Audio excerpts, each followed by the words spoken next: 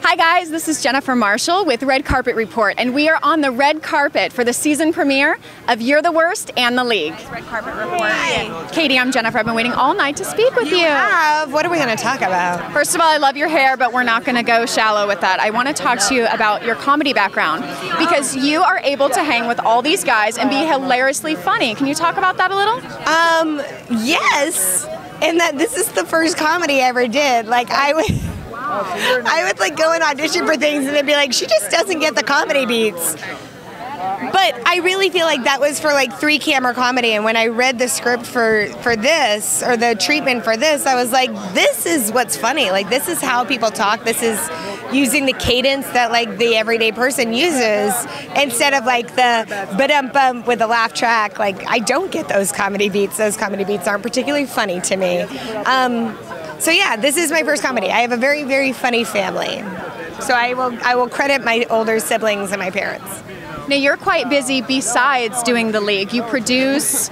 Um, can you talk a little bit about that, about how you are able to juggle motherhood and producing and then acting? It's a lot. I actually I've directed two films and produced them and acted in them, and but I, I have two daughters, so I feel like it's kind of my duty to like show them that they can do it. And and it's all about finding the right balance. And sometimes you tip too far in one direction and then you like work to get it back on the other side. But like I really just want to set the example for them that like they can if they want to do something go do it. Yes, that's amazing.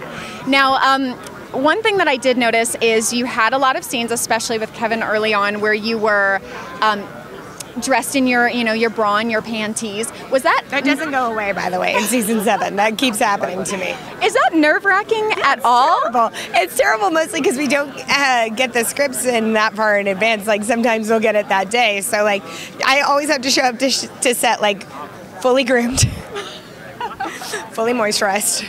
Like make sure you go to Pilates. Like you just never know when it's going to be sprung on you. Now, is that amazing or sometimes frustrating uh, working with your husband on the same show? No, it's awesome. It's so great. I'm so thankful because I know that we will probably not get that again. You know, the odds of us being on the same show that shoots in Los Angeles, like the more chances of like him being in Vancouver and me being in Atlanta and then a nanny raising our children. So I'm so happy that we have had this. It's been really, really special.